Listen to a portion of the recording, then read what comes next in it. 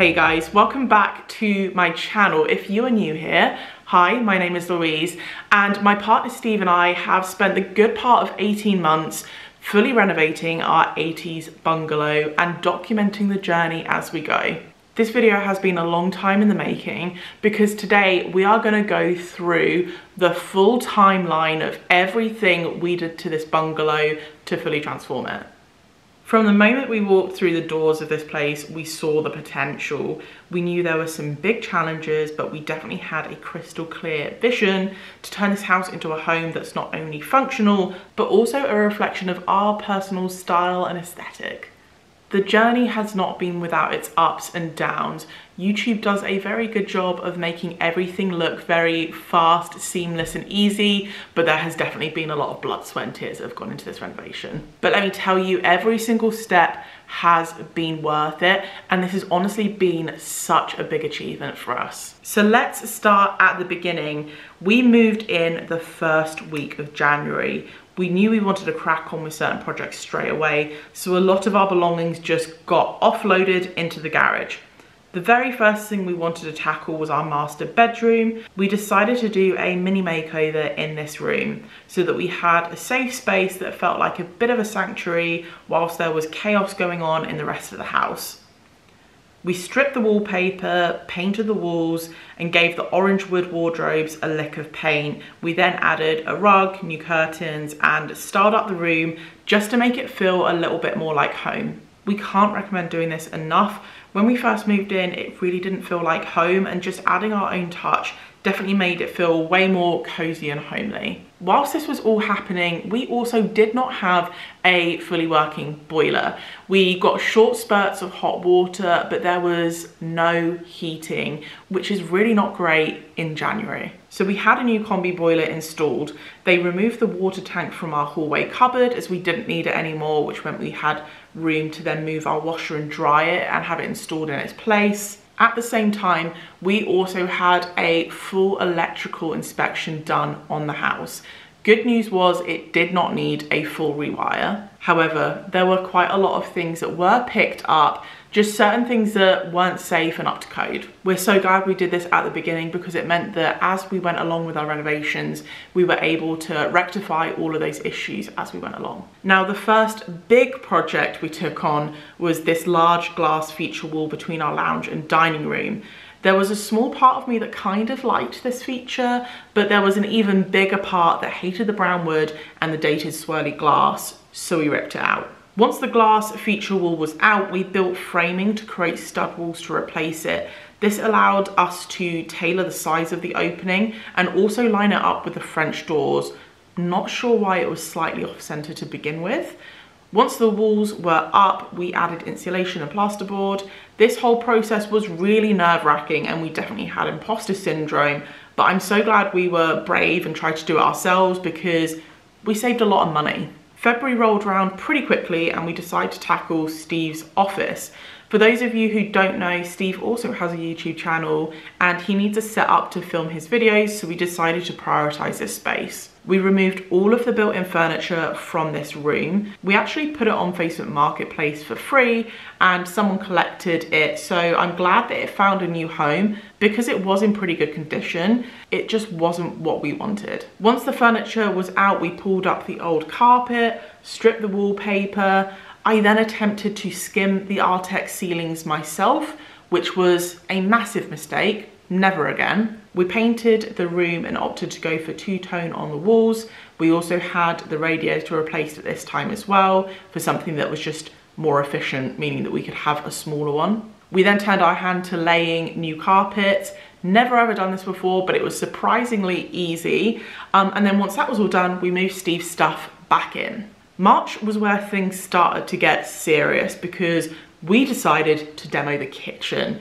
This was the room we honestly could not wait to start on, so we were buzzing to get going. We ripped out all of the cabinets and gutted the whole kitchen. The only thing we left in place was the kitchen sink and dishwasher because we were still very much using the kitchen. Once the kitchen was out, we removed the wall between the kitchen and the dining room. It wasn't load bearing and it was a very thin stud wall, but ripping it out was so fun. Seeing this space opened up for the first time was such an amazing feeling and it made all the dust and chaos just a little bit easier to stomach. We also ripped up the flooring from these rooms. There were about five layers of lino and glue, which was pretty, pretty gross. At this point, we had our electrician in to do a lot of work across the whole house, but mainly roughing in our kitchen electrics and getting rid of the horrendous kitchen lighting that we had in there and replacing it with some spotlights. After I completely up skimming the ceiling in Steve's office, we got professionals in to skim the ceilings across our newly open plan kitchen, the lounge and the hallway. Lesson learned there. We also started to have some of our radiators replaced around this time, including our big vertical radiators in our kitchen and lounge. When April rolled round, we had an issue. The shower in our ensuite never worked from the moment we moved in. We were actually using our main bathroom, but then that shower decided to start leaking. At this point, we decided to prioritize our ensuite, which was much earlier than we had planned to do it. We demoed the ensuite ourselves by ripping out all of the cabinetry, tiling, removing everything apart from the things that were plumbed in. We decided to leave that for the professionals. We hired professionals to fit our brand new ensuite and tile everything. We opted for a walk-in shower and a huge vanity, which made such a big difference. It just felt like such a luxury compared to the rest of the house. Once the ensuite was finished, we had self-leveler poured to level out some of the flooring in the kitchen, lounge and hallway. Our floors were looking a little drunk before, so this was a vital step before we continued. Once the leveler on the floor had set, we ordered our kitchen. We opted to go with an IKEA kitchen because we'd heard a lot of good things about it. Plus they had the look we liked for a price that we loved. We built all of the kitchen units ourselves and installed our pantry units. It took us so long to install those three cabinets that we thought, nah, let's hire this out. May was a big month because this was when our kitchen was finally installed. After not having a fully functional kitchen for over a month, this was an amazing step. Thank God for our microwave and our air fryer because they really carried us through that time. Our kitchen fitters installed all of our cabinets, cover panels, plinths, and worktops, as well as the appliances. We installed all of the drawers and the handles ourselves to keep costs down a little bit. Once the kitchen was installed, we started working on the lounge.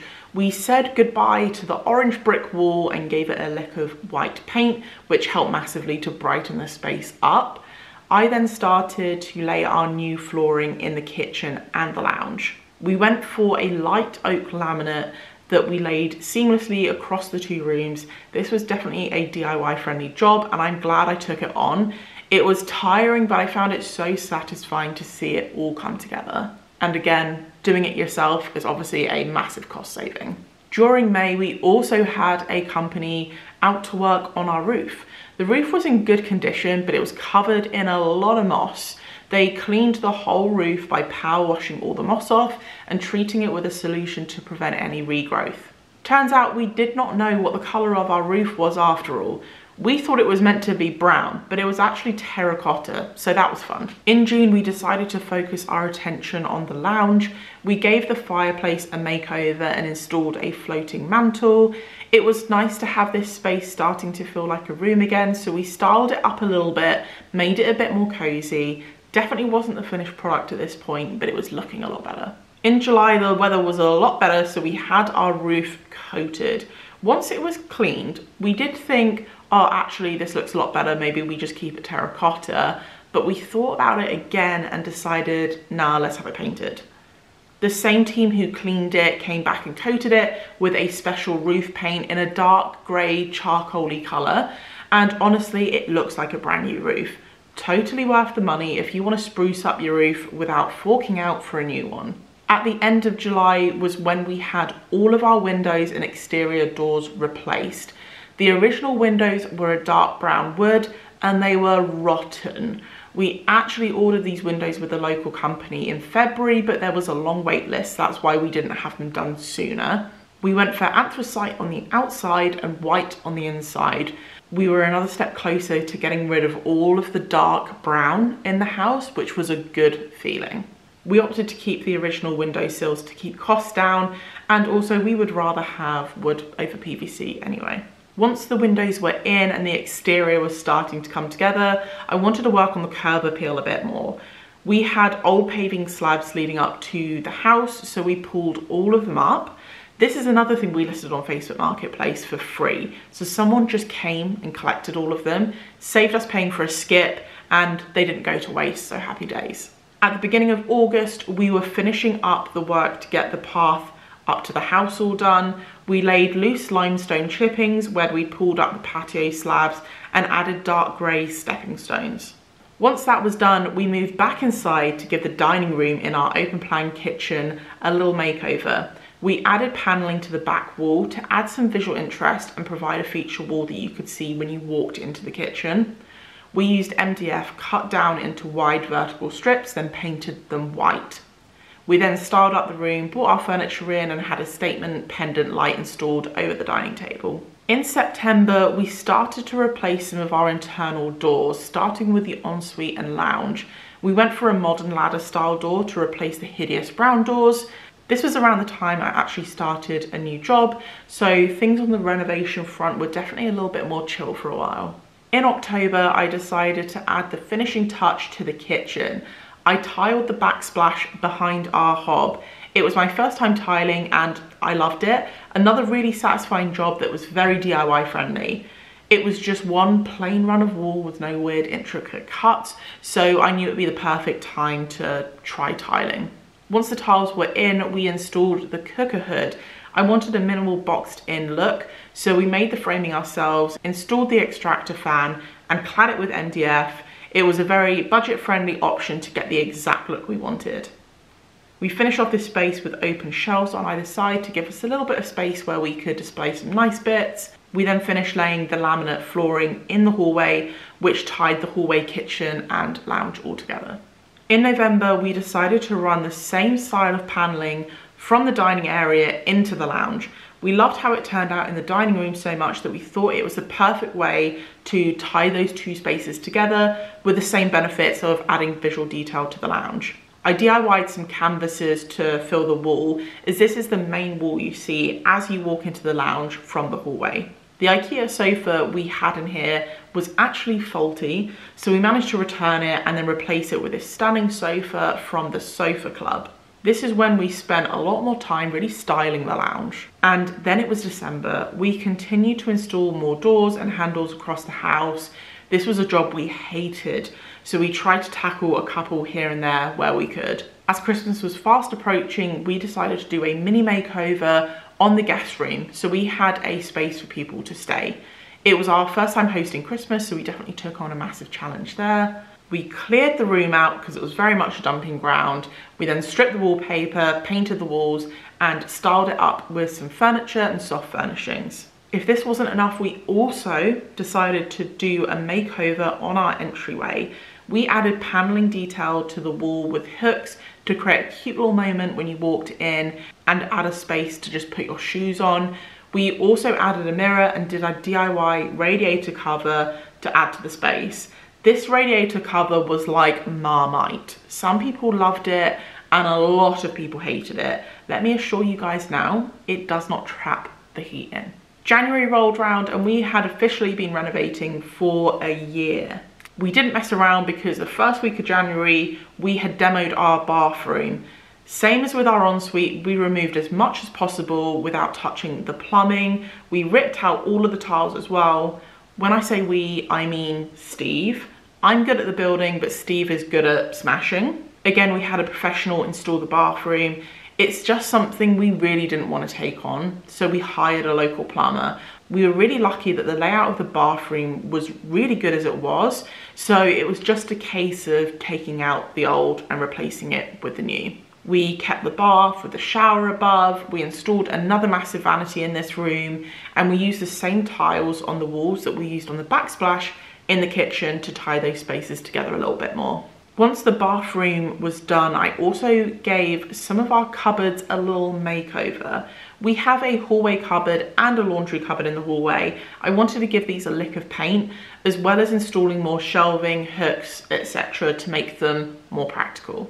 At the end of January, we decided it was time to revisit the master bedroom. We vacated ourselves and our stuff to the guest room so we could properly tackle the main bedroom. We removed the built-in wardrobes, stripped the remaining wallpaper that was hidden behind, and had our plasterer come in to skim the ceilings. So in February, once the plaster had set, we were ready to get decorating. We ripped up the old carpet, gave everything a lick of paint, and laid the new carpet. We decided to reinstall the wardrobes that were originally in here for a couple of reasons. Firstly, to keep the cost down, but also the wardrobes were in really good condition, so why not? We did rejig the layout of the wardrobes to allow us to add some drawers in the middle, space for our TV above. We managed to make it feel like a custom built-in, which we then painted to match the rest of the room. Once that was done, we also had our plaster redo my awful job of skimming the ceilings in Steve's office. Once the ceilings were done properly, we decided to revisit this room. We weren't vibing with the two-tone paint, so we repainted it all one colour and it looks so much better. In March, we revisited the guest room. Doing things this way definitely isn't the best use of time because we struggle to get trades in, book them in for certain jobs, and it's hard to juggle living in the house while trying to get done. But anyway, guest room makeover, we had the ceiling skimmed by our plasterer, then it was fresh paint, new carpets, and styling it up. This is a multifunctional room because it's not only our guest room, it's also my office. So being able to finally claim this space was bliss. In April, when the weather was getting nicer, we've moved back outside again. We decided to tackle the dreaded garage. This was a dumping ground during the whole renovation, so this was a chore. We completely cleared it out, did several tip runs, cleaned it properly, then we painted everything white and also gave the concrete floor a lick of paint. We added some functional storage in here which helped us organise and keep everything in a particular place. We also spent some time in the garden sprucing it up. We sprayed our garden fences black and tidied up some of our flower beds. Towards the end of the month, we actually had someone come to spray paint our garage door, soffits, fascias and gutters in anthracite to match with the roof and the windows. This was the finishing touch to the exterior and it made such a difference. It was a great option to make everything look new for a fraction of the price. Garage doors are really expensive and there was nothing wrong with ours. So we literally just took it from a bleached brown color to a nice fresh gray. By the time May rolled round, we were pretty much done with all the big projects. We spent time doing lots of touch-ups and fixing snags. And that is a wrap on the renovation. It has honestly been such a whirlwind. I'm incredibly proud of what we've managed to achieve in this house. Walking through these rooms now, it's so hard to believe where we started. The lessons we've learned and the feeling of seeing this space come together has been priceless. I want to thank everyone who has been following along and supporting us on this journey. And just to remind you guys, we didn't really have any renovation experience whatsoever when we moved into this home. So if we can do this, you can very much do it too.